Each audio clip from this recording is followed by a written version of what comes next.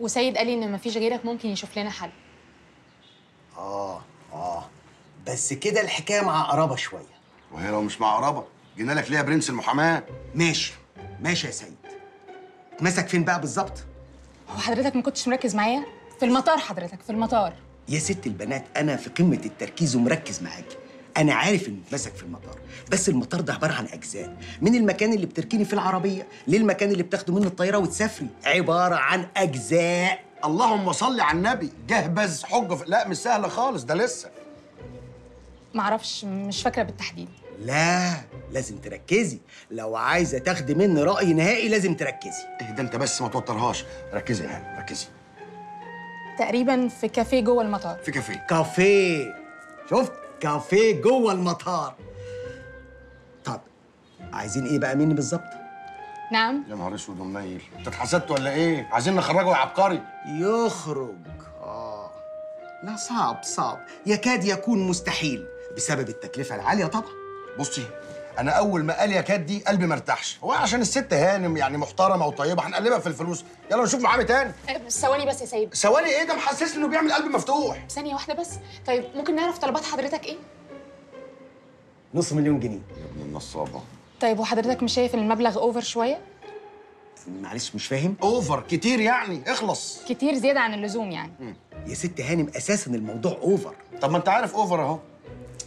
ماشي ماشي يا سيد.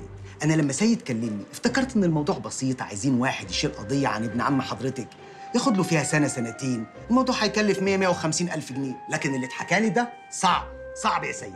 واحد مغير شكله واتمسك بجواز سفر بالشكل الجديد باسم مختلف. وتقولوا لي أخرجه؟ لا لا لا. أنا سهل عليا أطلع إبرة من كوم قش من إن أطلعه من القضية. يعني أفهم من كده إنه في حل؟ كله بأمر الله. بس الأول نتفق على السعر. جهبذ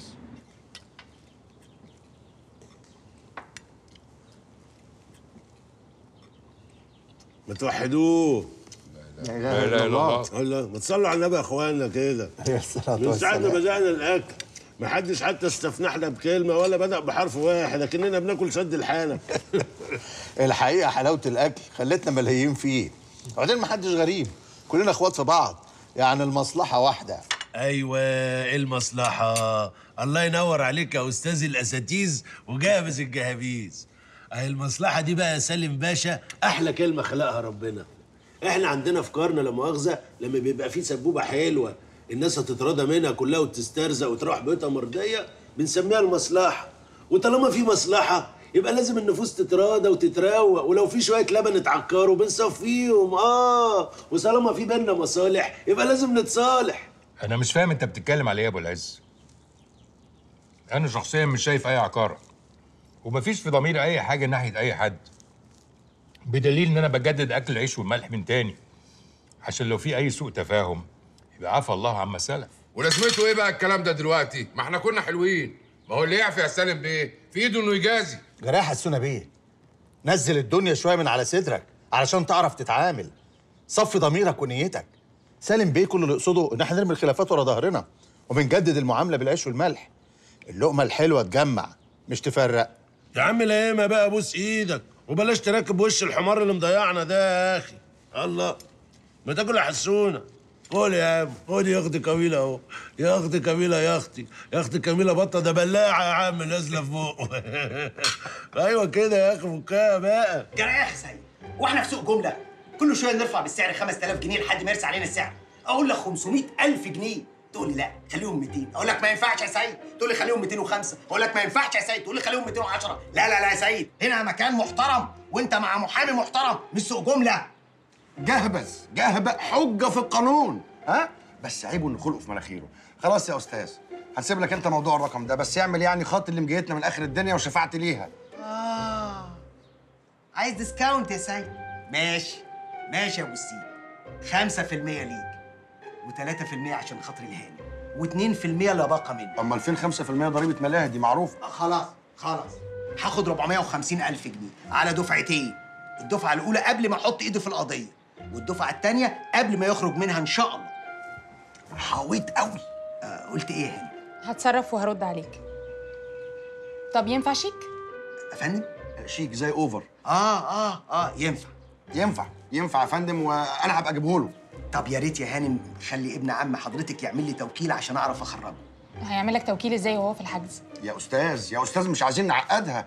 يعني اللي هيخرجه من بيت جحا ده مش هيغلب في توكيل عام قضايا ولا إيه؟ آه آه معلش نسيت. لا يفتى ومالك في المدينة.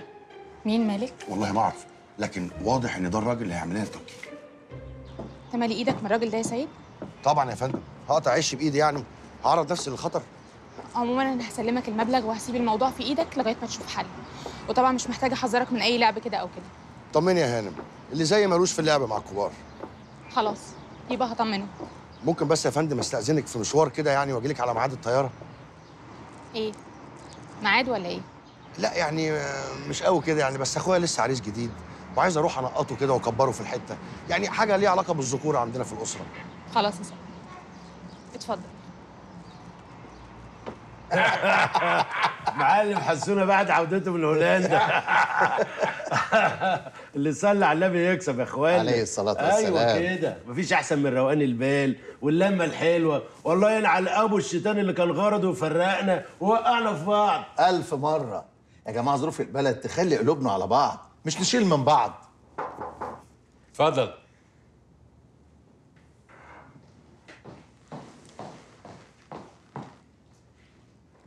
حضرتك تأمرني بأي حاجة تانية يا فندم؟ لا متشكر. اتفضلي انت تحت أمر حضرتك. الأخبار ما هي إيه؟